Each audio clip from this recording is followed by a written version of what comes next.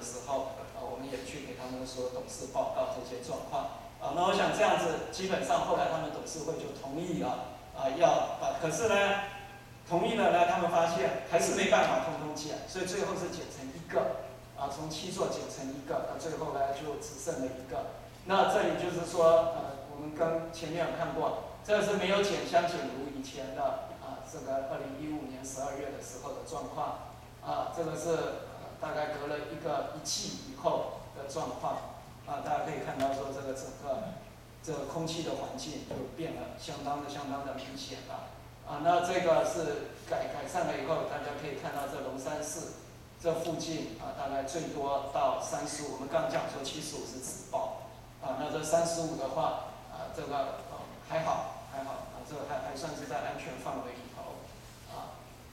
那所以大概我我想这边就很快以上跟大家报告说瑞玉在做这些呃这个专案的一个一个由来跟整个的这个呃过程跟结果啊以上谢谢。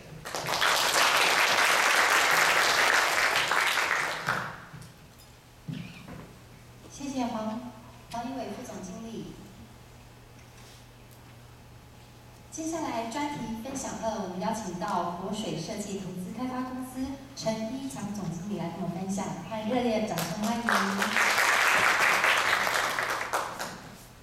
大家好，呃，非常谢谢主办单位叶所长还有黄振东博士的邀请，有这个机会来，因为黄博士在我后面，所以我不管加什么，反正他后面都会补好，呃，补满啊，补得好，所以呃，我就分享一下，大家大家看到我们公司名字就知道说我们做。社会企业投资嘛，大家大家会觉得很很就是说很冲突哈，社会跟企业放在一起，又把影响力跟投资也放在一起，就是这几件事情都是蛮冲突的，所以就回到我们刚刚讲说，其实呃很多事情其实可以，也许它本身也是可能形成一种呃好的循环嘛，所以呃其实我们就想想过来证明这件事情。但是呃我们创造这家呃开放这家公司，其实要做，其实要满足我们的最重要的这个。这个我们最重要的服务的对象是什么？就是创业的公司，对不对？因为我们创投嘛，就要创业的公司。那各位呃知道说一个创业，一个社会企业创业，大家知道社会企业什么吗？就是用商业模式来解决社会问题，对不对？这样可以吗？用商业模式来解决社会问题，这听起来很吊诡。商业模式怎么会？哎，刚才那个黄博士其实就是有一点的印象哈，就是说你们的 solution 其实。所以应该是良策，可是因为良策才会解决那个问题嘛，所以就已经带到这个角度了。那如果说有一家呃，假设有一个年轻人出来，他特别用这个瑞意的 solution 去专门在做这些事情，甚至提供整个解决方案的话，那可能就是很棒的一个社会创业。那社会创业需要什么事情？第一个，呃，大家就讲说，不是那么赚钱嘛，他所以他需要一个耐心的资本，就 patient capital，对不对？第二个，所有的创业都需呃都很需要，就是一个。呃，聪明的钱哈，呃，跟笨的钱跟聪明钱的一样，就是聪明的钱就是会会让你啊，就是有很多资源跟连接来帮助你成功。那第三个，我觉得社会创业比较跟一般创业更不太一样，是可能需要一些 multi stakeholders，就是这些呃，就所有的这些关有有这个利益关系的团体的一些参与啊，最好有更多的参与越越好。一般商业创业可能不需要，最好因为我我自己是。商业创业就是机密嘛，商业机密最好不要有人跟我连接，啊，我要赚大钱啊。但是呃，设计创业希望跟包括 NPO、包括政府啊，啊，这个各个部门都可以做一些连接。所以我们，我想我们就是在解决这样问题。所以过去我们就起了，就是我们想说，就找，就是开始找钱哈，我们要投资社会企业。所以我们很幸运的，我们就成立两个呃基金哈，从五年前开始到现在。然后我们现在呃。这个数字大家自己参考一下，我们是一个非常小的一个创投，不过呃小小有它的影响力怎么产生？就是说，如果你出一块钱啊，别人可以出三块钱，这样有影响力？还是说你你出一块钱就一块钱的话就没什么影响力嘛？就是你就影响自己自己拿出来所有东西。那我们就是每投一块钱，我们就会邀请我们的共同投资人一起来参与，那这样子加起来就四块钱啊，所以这就是我们的一个策略了哈。那这样子以后出场也可能比较有机会啊，因为有更多人参与嘛。那这也是社会创投比较不一样的地方啊。所以我们现在已投资了十家公司。那其实我们分成两个这个，呃，大家想说，哎，这社会企业到底怎么跟我们投资人交代哈？那我们第一个就讲说，我们是创造回收本金的机会哈。那请注意，这每个字都不能少，创造回收本金的机会，就是我们先跟我们投资人讲好这样子的期望啊。那也也就是说，我们还是要赚钱，可是我们不是要极大化这个呃，就赚最多的钱啊，不是这个意思，而是要能够把一百块投资我，再把一百块一百块还你啊。我想这是我们的一个理念。所以因此呢，我们投资的十家公司里面，呃，有一部分哈。但是一半呢是比较 scalable business，就是可以放大的，通常是产品，而且有也蛮有社会影响力的。譬如说，大家听过鲜乳坊啊，就是卖牛奶，然后肉衣啊，他想改变整个呃这个这个弱农业的生生呃这个这个价值链等等嘛。那也有比较有呃这个属于深度影响的一个，就是呃举例说，我们有一个叫黑暗对话，大家知道呃视障者通常的工作是什么？大家想按摩对不对？但这家公司是公司哦，它雇佣视障者做什么？做培训师。它创造了一个呃非常适合做教育嘛，创造了一个全黑的环境，让这个视障者在里面当培训师。大家听过呃这个所谓的情境式的学习嘛？或者是这个 experiential learning 嘛，经验式的学习，就是在里面玩做一些游戏啊，或者是活动，它可以让你学到很多东西。然后在后面的光访，就是真的到回到这个。亮的地方时候有可以来分享说你学到什么东西，那这个呃这个特别适合用来做沟通做呃管理的一些教育等等哈。那这个公司其实也做的蛮好，它客户都是就很大的客户哦，HTC 啊、雅虎啊这些都是啊，所以我们公司就是投资这两类的这样子一个公司哈。那呃就很幸运我们现在还在嘛，而且呃各位知道我们有多少股东吗？我们有八十位股东啊，加起来。而且我们是希望说每个股东出资都是一样的，但呃，所以是一个参与的模式。然后我们每投资一家公司，会请我们的股呃股东会去去卖许会去当总监事啊。啊，然后所以虽然我们很小，呃，没有资源，可是实际上我们的虚拟的资源是非常充分的。那呃，很快的就是，那你想着未来要做什么事情，也是哎，其实跟今天呃这个主题有点关系吧，就是说，哎我们未来。如果要用投资的方式来发生影响力，那各位觉得我们刚才做这件事情有没有算有这样算是投资影响力吗？对不对？算有一点了哈，因为你像黑暗对话，可能投资人不太多，都是天使投资人。那你要真正找一个机构全心全意的动用资源帮助他，其实不多嘛。那我们算是有支持的。那先入网当初也是我们算是第一个呃外部的投资人进去哈，来支持他们。所以后面我们是要做一个继续做我们的所谓的创投 VC 呢。还是说，我们也可以去支持呃，大家通过 ESG 的 investing 哈，sustainable investing，永续性的投资呢？呃，还是说我们呃有一个叫 social impact 嘛这是不解释的，复杂。所以就是说，还是呃，就是说整个世界都开始动起来，说投资可不可以来也产生影响力这件事，就是大家来思考这件事情。所以，好，那那。那大家想说我们会投资什么样企业？我还是要跟各位报告一下，就是基本上是有个光谱啊。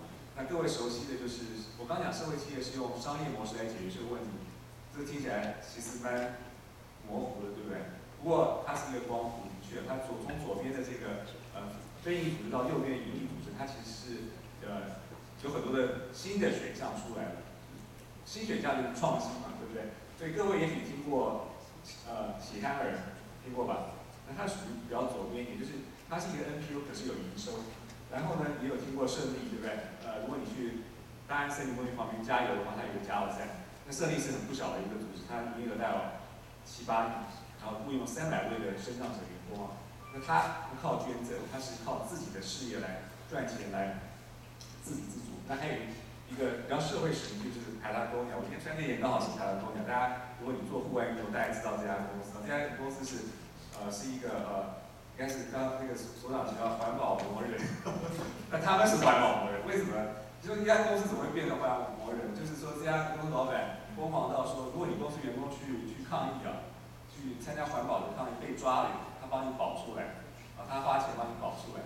然后如果你呃是在五年前开这个油电混合车，这个但是主管位置让你停的哈，他非常鼓励这个环保。那当然你可以想象他所有的这些衣服都是跟呃，recycle 啊，包括有机每天都会放在一起啊，所以我想这是一个，呃，也是蛮呃积极的一个社会使命的企业，那这个就不是一般的企业嘛。当然，大家也听过 Tom Cruise 对吧？马斯那这些都是呃接近就是比较像 CSR 这样子一个角度了。那我跟你讲说，广义的社会企业就是其实很宽广的，有 NPO 型的社会企业，也有公司型的社会企业。然后最近各位有听到一个 B 型企业，对不对？今天 B 型企业理事长也在这边哈 c o r y 那呃，其实就是在呃，B 型企业是一个民间的认证，那它其实就是希望这个企业能够不是只是世界上最好的公司，它是要对世界最好才行。所以慢慢的，我想公司型社会企业会占一席之地，但公司型就社会企业就需要投资嘛，才能够成长，对。所以我想我们就会有这个角色去呃支持它。那当然我们要往的方向就是就是 SDG 啊，我想是大家都已经是一个共同语言，我就呃不特别解释。所以呃是在这样的状况下，这个我们是想去证明说用投资可以来做影响这件事情。那那回到刚才说我们未来想做什么事情，其实我们有点卡住了。为什么？因为呃呃我们去募一笔资金，那其实我们投资了呃三分之一在一半的钱出去，其实我们有一点呃 capital market，就是我们的钱在这边，但是我们要等好的人进来，对不对？其实可是我们在想说下一步还可以怎么样去影响这个呃这个主流的这样子一个商业的环境，去让它能够。能够参与到社会创新、社会创业这一块，那这是一个很大的挑战，对不对？所以我们在想说，哎，是不是也可以从上市公司这边切入？那我们常常讲到上市公司，大家想到优等生嘛，就是台积电这些的。那是不是有一些公司呢？它其实在做一些很有影响力的事情，就解决一些某些问题，或者是它非常呃非常有有这个整个公司治理也好，或者是呃对。环境啊都非常的呃有有这个呃负担的话，那这些公司也会被发掘出来。那这些是不是也可以哎来做投资的标的？那投资标的不是说是要给他钱，反而是监督他，反而是你在他的股东会里头、跟董事会里可以有一个影响力，让他去更有发挥他的社会影响力啊。所以这是一个动听体验。不过呃这件事情就是跟黄黄志忠博士就有点启发，就是我跟那个那个利润讨论，是。可以试试看，因为我们问了一下台湾的金融机构，好像真的没有没有在玩真的，可是国外已经有这样的一个风气产生了，所以我们就让他来做一点事情啊。那也就在这个当口呢，我们哎有一个新闻嘛，给大家看一看，就是我不知道大家有没有看呃这最近这一期的《金周刊》，那有一本的讲话也在里面。那这个标题很有意思啊，他说牵动全球八十兆美元投资革命啊，这个就没有做好 ESG 也。会被列入黑名单。那大大家知道 ESG 是什么吗？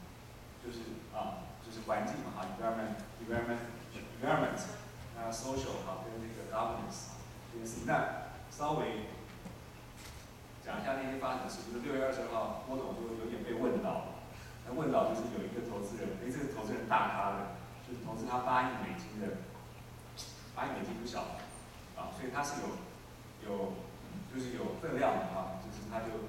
来问十个问题啊，那我猜没有猜到录影带，不过我猜大概郭总是答的哩哩啦啦，就是因为他问的问题都不是一般人会问的，什么超时的工作啊，劳动政策有没有？哎，只有讲到呃有方向，那哎到底怎么做的啊？董独立董事出席率是多少啊？这样子啊，所以呃这个 Hermes 大有来头，那它其实就是全世界呃专门在做影响力投资啊这种这种。Private equity investment fund 这种专业的这个资产管理公司，那他显然投资了红海，然后他就问这些问题了。各位就说，其实我觉得这是一个风向，这是一个 sign，就是当你红海被质疑这样问题的时候，我相信会对这个整个市场会带来整个资本市场会带来一个不一样的一个的趋势跟风向啊。所以，所以我相信大家以后会越来越听到 ESG 的这个这个。事情，我想等一下那个那个李北英可以讲更多，因为我想很多大企业都很多。那我这也是网络上搜寻一下，结果哎发现，结果他去年这个天呃 CSI 天下，他就已经有一个报道说，哎郭董是亚洲第一个是啊没有跻身全球十大 CEO 的原因是什么？他其实他的财务绩效是全球第七，这是二零一七年哈。可是。他没有，他他的排名是多少？各位知道？就是你财务绩效排呃第七名，呃，照理说你应该就是前十五名应该再怎么样差也不会差过，结果他排到四十名，大家觉得为什么？结果原因就是因为有很多 ESG 方面的问题啊，没有去处理。那当然前面十名大部分也不是美国的企业了，是欧洲的企业，所以欧洲这边是领先的。所以呃，其实这是去年的事情，在比对今年六月二十号，我觉得这个氛围已经形成了。所以啊，就回到我们刚才做的这个，想说做一个小实验，或者说想说啊，我们。怎么样做一个小的一个呃投资组合啊，能够来看看说台湾是不是也可以形成这样子的一个开始，所以我们就呃稍微介绍一下我们做的实验嘛，因为今天几位 partner 也在这里哈，呃包括 Jackie Valley 哈，这个等等哈，那可以看看我们的，好对，呃其实就是我们的学名字叫尽呃就是叫做尽力公益实验方哈，那呃简单的讲就是说。想验证一下，说有没有可能投资上市贵的公司，让上市贵公司产生更大的对社会影响力？那各位在想这个题目的时候，觉得怎么样开始最好？这个主题怎么选？那环保是最好的主题啊。其实一开始我们想选 PM 二点五，就是说，呃，有没有公司对于 PM 二点五是有有关系的？那后来，后来我们扩大到环境污染，也就是说，有三种企业，各位也许。平常比较忽略，但是非常重要。就是第一种是减少环境污染的公司，或它努力去减少环境污染。第二种是什么呢？他去处理环境污染，就是已经环境污染发生了，那没办法就要处理。第三种就是什么？预防环境污染，就是在还没有发之前就去提供一些解决方案去预防等等。啊，那我就愿意也蛮接近这个。有点是预防或处理啊，这个中间嘛哈，因为要有量测以后才会解决问题。好，所以我们就做这些呃这个方向的这个，那我们就是去找一下整个台呃台湾股市，也谢谢你们的支持啊，就是找一下到底有哪些企业是符合这些标准的。结果哎有也有超过十一十二家啊发现有类似的这样子的一个，当然有些是跟呃所谓的处理业嘛哈环环保 recycle 产业有关系，有些。也是蛮有呃一些呃未来性的哈，就是我们朝这几个方向去找出有没有公司是在这些领域的，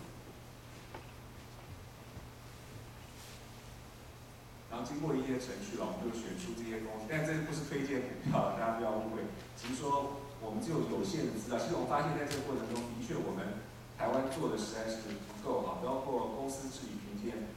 啊，不见得每个公司都很积极的参与嘛，所以资料可能也不是那么周延。那也包括呃台湾本本我们本身市场也比较小，所以也许没有这么大多的这个产业。不过这是一个开始。那我想我们会也继续跟我们的伙伴一起去呃，当然它是一个投资组合，比如说一年级为期，然后去试试看说测量一下说呃透过这些呃这个 algorithm 啊或者这些去测量一下说我们到底。这个投资这样的公司跟大盘到底有什么样的差别？那呃，其实经过回测，各位知道回测嘛？哈，如果你回测三年过来，这个这样投资这样类似这样的公司，各位觉得是赚还是要比大盘是好还是不好？啊？啊，对，啊，我们是如果是平均哈，平均加权，对不对？如果是这样子去算，跟大盘加权指数。台湾这是什么价值？大台湾台湾加权加权比，大家觉得差多少？今年比较不一样的哈，不是这样子，两三年这样测下来，大家觉得是啊，这样表决一下好了，你觉得比大盘差的举手好不好？都是这样，都是比大盘差，有跟大盘一样，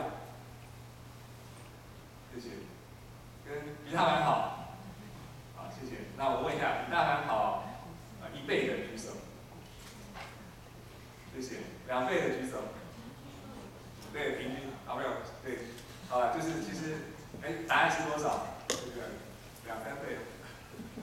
对，我的印象是两到三倍了哈。但这不是鼓励大家买这股票，因为今年环境又变了。不过呃，各位也知道，这种股票也是抗跌的啊。但你用常识来判断一下。好，不不是重点啊，呃是重点，就是说选股票重，但是更重要的是说，做这些事情都要要引发什么样的活呃运动啊？才是下一步我们想思考的啊，怎么样去观测这些观察这些企业，怎么样是督促这些企业去提升更提升他们的影响力？我想也许可以透过股东会或者是呃甚至说群众。在网络上的一些力量都有可能啊，所以这也是我们还在思考的问题。不过就等我们先启动这个，那我们的网站快快开始了哈，就是也许这个月我们就会登场，那到时候也希望大家呃去看一看。好，这里，大家参考就好了，因为这个就是呃只是参考。啊，所以我想。总之呢，我们经过这个实验的过程，就发现这是一个刚开始的领域。就是如果大家想解决环境问题，我想呃每一个呃领域都已经有都有人才嘛，这样子。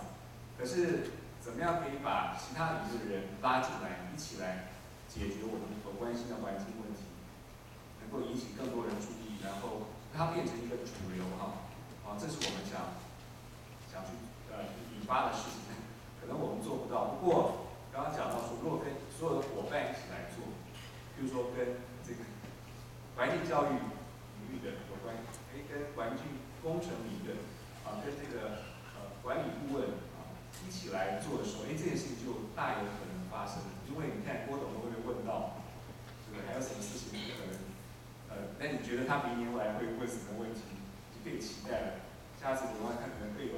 更尖锐的问题就出来了，所以我想这是一个呃，这是一个趋势。那最后我想讲就是，我们希望呃，刚才跟组长聊天时候，我们希望做一个 ecosystem，呃，就是说有一个平台，可是也可能更具体一点，就是有一个生态系统，啊，就是环境，不管是影响力投资也好，就是希望做一个生态系统，让让呃非营组织、让学界、业界大家都可以有一个对话的空间，然后呃。各自用各自的专业来解决所面对的问题，啊，那是我的分享，谢谢。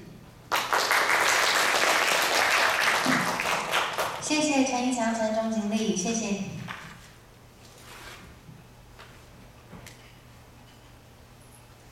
再来，我们邀请专题三的分享人，我们邀请安侯永续发展有限公司董事总经理黄振中总经理，我们掌声欢迎。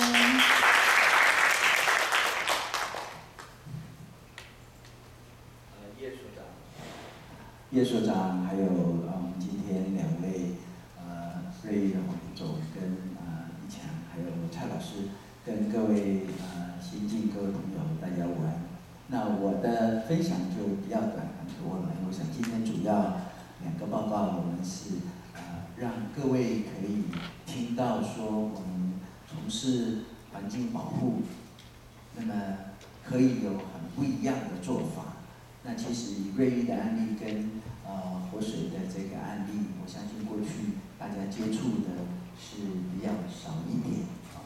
那呃今年我想十一月多就会有选举，所以我们的环境应该是很明显，今年是影响到我们的选举。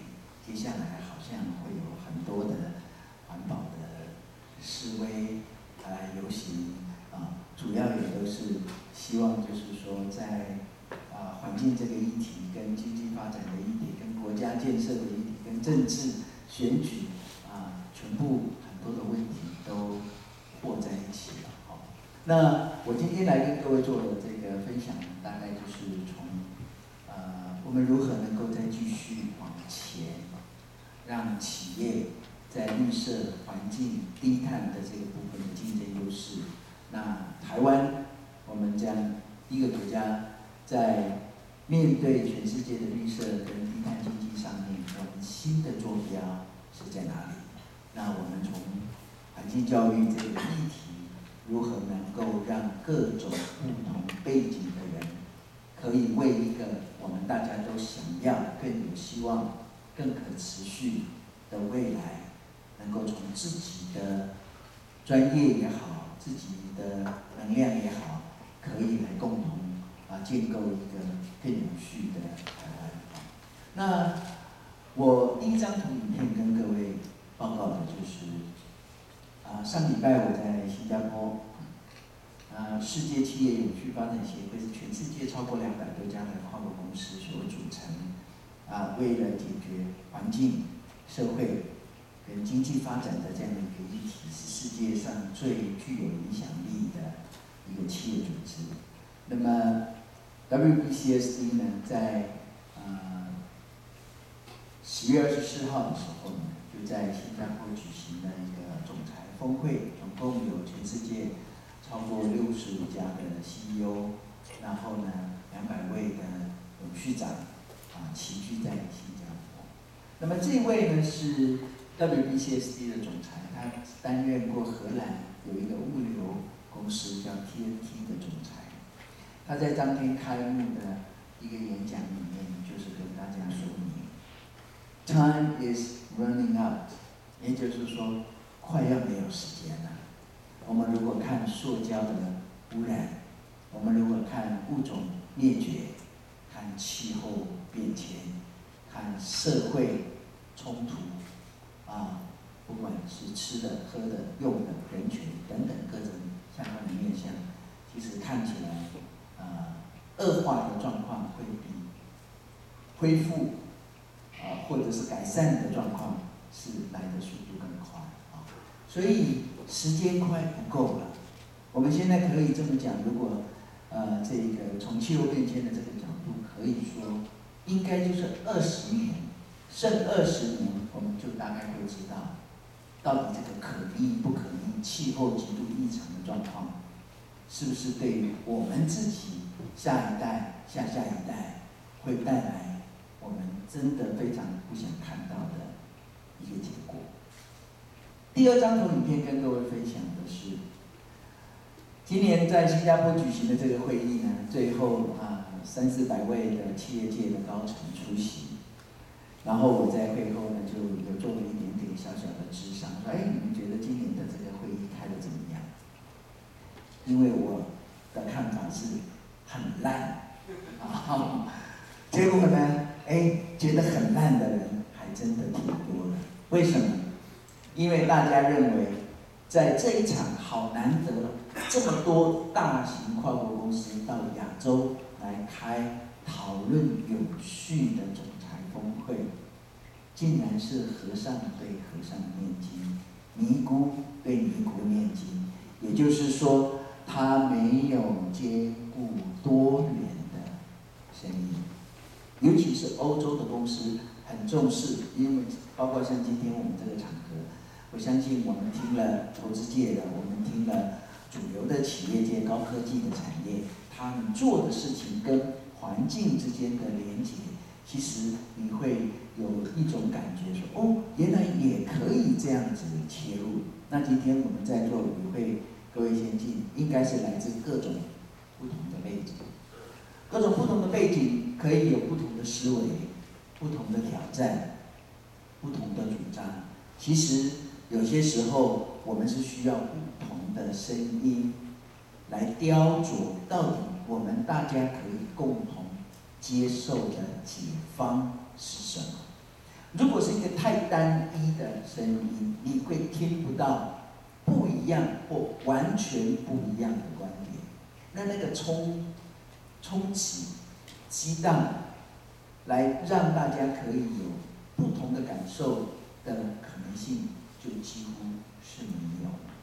所以这样的一个情况，我们同样用在企业经营的管理。如果我们今天讲台湾的环保议题，不仅要解决，而是还要再让让我们台湾的经济发展、产业的发展、个人职场生涯的发展，在全球迈向绿色低碳啊永续发展目标的这样的一个氛围之下，能够找到我们一个清楚、明确、可以落地的坐标的话，那我们是需要考虑过去没考虑的东西，譬如说。